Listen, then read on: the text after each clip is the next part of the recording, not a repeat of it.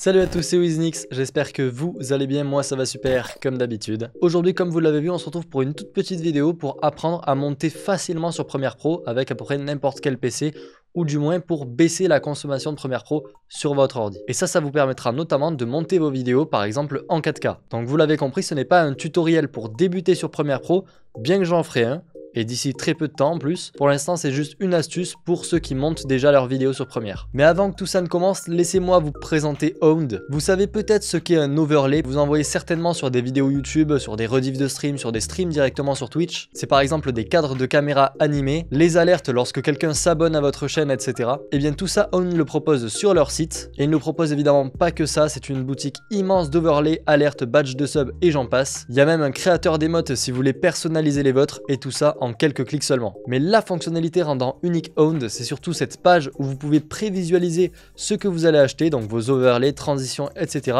afin de voir s'ils vous correspondent bien avant de les acheter.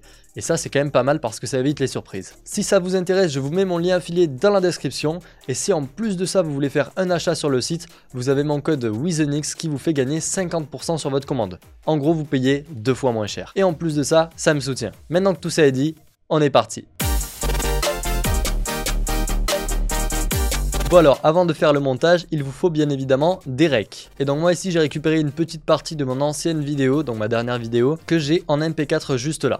Et vous allez voir, je vais venir l'ouvrir sur Premiere Pro. Donc j'ai mon fichier, je le glisse juste ici dans le chutier. Il fait 5 minutes, voilà, je l'ai euh, raccourci et je vais venir l'ajouter à ma timeline. Donc voilà, ça met du temps, ça charge. Et cette vidéo, je tiens à le préciser, elle est en 4K. Et c'est de la 4K différente de la 4K en 16 neuvième que vous connaissez. C'est en fait du 2 unième, c'est un format un petit peu plus large que j'utilise actuellement pour cette vidéo. Je préfère ce format, il est plus éducatif, plus intuitif sur YouTube. Et donc ici, il y a les caractéristiques. Donc c'est du 4096 par 2048. Et donc comme on peut le voir, sur Premiere, ça met du temps. Donc ça a mis du temps à charger. Et donc là, si je décale ici mon curseur à d'autres endroits, comme vous pouvez le voir, ça met longtemps à charger, ça met quelques secondes. Peut-être pas une seconde, mais ça met un petit peu moins. Et encore là, mon fichier fait seulement 5 minutes. Moi, mes recs en général, ils font plus d'une heure. Et donc là, par exemple, si je prends mon curseur et que je viens le déplacer petit à petit, comme vous pouvez le voir, ça bug énormément. Ça lag. Et quand vous avez énormément de cuts sur votre vidéo, ça lag encore plus. Et donc vous pourriez vous dire, bon, pour monter ma vidéo, Vu qu'elle est en 4K, je vais venir baisser ici la résolution de prévisualisation. Et je la baisse aussi pour la résolution interrompue, donc à l'arrêt. Donc je le mets au minimum, donc un 16e. Et donc là, même encore, bon, ça marche un petit peu mieux, mais ça bug toujours. Et vous remarquerez que si vous montez pendant plusieurs heures, eh bien ça buggera forcément à un moment donné. Il y aura peut-être première qui va se fermer, enfin bref, il y aura que des problèmes. Et donc pour régler ça, moi sur internet, je voyais comme solution d'aller dans édition, préférences, général et changer la mémoire ici en mettant le maximum de mémoire RAM à première, donc je mettais le minimum ici, et donc je mettais le max, donc tout le reste pour première. Même ça, ça ne suffisait toujours pas, donc on m'avait dit de vider le cache de médias, ce que j'ai fait. Le problème, c'est que j'avais pas compris qu'en vidant le cache, on perdait tous nos anciens fichiers, donc j'ai perdu tous mes anciens fichiers première. Bon, à la limite, c'était pas trop important, donc ça va. Donc faites vraiment attention quand vous supprimez vos mémoires cache à faire un backup de ce que vous avez fait avant, si vous avez des projets en cours. Bref, même après ça, toujours rien. Ça continuait de bugger au fur et à mesure, petit à petit, plus je montais, plus ça buguait. Parce que là, évidemment, il n'y a aucun montage et ça bug déjà. Enfin bref, il y a une technique pour régler ça. Vous allez voir, je vais vous montrer. Vous allez ouvrir Adobe Media Encoder, donc qui est de la suite Adobe aussi, il est juste ici. Et donc dès qu'il est ouvert, vous allez importer votre fichier MP4 vous avez sur Premiere. Donc je viens l'ajouter ici en faisant plus, je récupère ma vidéo ici en MP4, je fais ouvrir, et en fait il faut savoir que le MP4 a un codec qui est H264, et ce codec là il n'est pas du tout fait pour le montage. C'est-à-dire que ça a une très bonne qualité, mais le problème c'est que quand on veut faire du montage, qu'on veut faire de l'édition, et eh bien là ça commence à bugger à un moment donné. Donc pour ce faire, on va venir changer tout ça, on va cliquer dessus, et on va venir mettre en format QuickTime, très très important. Donc c'est un format qui vient de chez Apple et donc vous allez mettre ici en codec vidéo donc Apple ProRes 422 HQ. Encore une fois, très très important. Ici, comme on peut le constater, j'ai des bandes noires parce que mon format c'est du 1,5. Donc pour ce faire, je vais venir mettre la résolution initiale donc, de ma caméra. Donc je viens décocher le lien juste ici et je viens faire 4096 par 2048, c'est la résolution initiale. Maintenant, je viens cocher le lien comme ceci et je viens baisser la largeur et la hauteur puisqu'on n'a pas besoin de monter en 4K. Déjà, moi personnellement, j'ai un écran 1080p, enfin non, 1440. Et encore, l'affichage sur première, comme vous pouvez le voir, il prend pas du tout toute la partie de l'écran.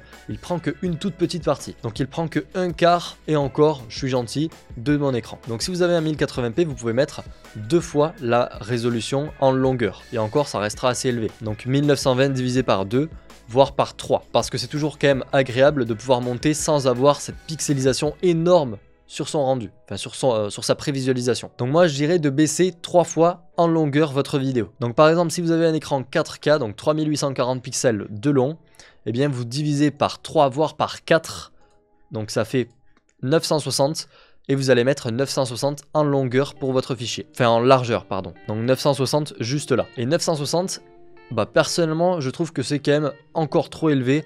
Ça pourrait bugger un petit peu. Donc moi je vous conseille même de baisser. Franchement 500 ça suffit amplement en général. Voir si vous faites du gaming et que vous avez vraiment besoin de voir les détails, mettez 700 ça suffira, voire 720. 720 c'est déjà pas mal. Ensuite, vous allez venir descendre et vous mettez bon, le nombre d'images par seconde de votre fichier. Moi ici, il fait pas 60 images par seconde, c'est ma caméra, donc elle fait 25. Donc je vais mettre 25, c'est mieux. Ça sera encore moins lourd. Vous mettez rendre à la profondeur maximum, vous n'êtes pas obligé.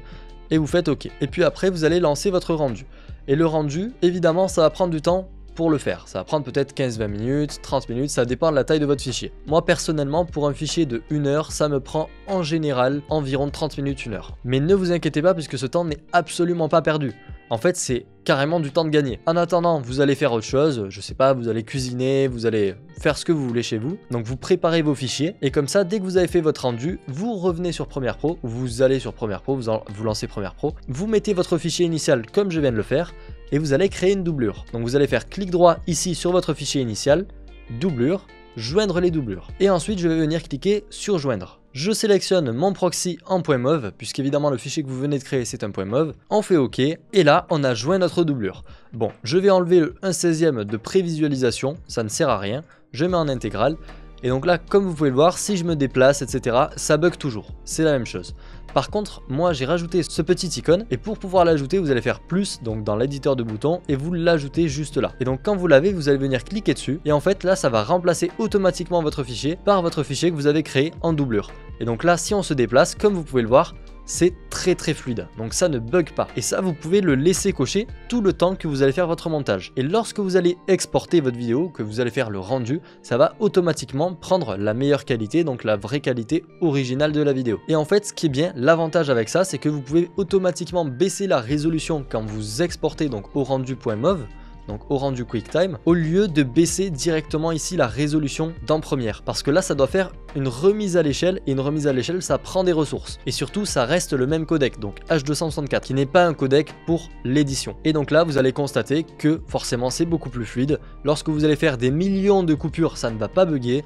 Enfin bref, c'est largement mieux. Et ça, en fait, ce qui est bien, c'est que peu importe votre ordinateur, si vous mettez une résolution extrêmement basse, Bon évidemment il faut quand même un petit PC, hein. mais si vous mettez une résolution extrêmement basse lors du point MOV, eh bien vous pouvez monter de la 4K sans problème. Bon évidemment vous, vous aurez pas du tout un rendu 4K, vous verrez peut-être ce genre de choses, voilà, mais c'est pas si grave, puisqu'au fond quand vous allez faire le rendu sur un gros PC, parce que ne faites pas le rendu directement sur le PC pas ouf, sinon ça va jamais marcher, vous transférez vos fichiers, tout ce qu'il faut, vous faites le rendu, et eh bien vous aurez votre vidéo en 4K tout nickel. Voilà, ça c'est quelque chose que j'ai découvert il y a très peu de temps. En fait, j'ai découvert surtout un peu après, au moment où je me suis mis à mettre mes vidéos vraiment en 4K, puisqu'avant en fait je les faisais en faux 4K, juste pour avoir le codec VP09 sur ma vidéo YouTube. Mais là, je voulais encore faire progresser ma qualité et faire passer mes vidéos en 4K, c'était pas négligeable. Mais sur mon PC, lorsque je faisais le montage, ça laguait à mort. Et c'est là que j'ai commencé à chercher sur internet, etc., des astuces.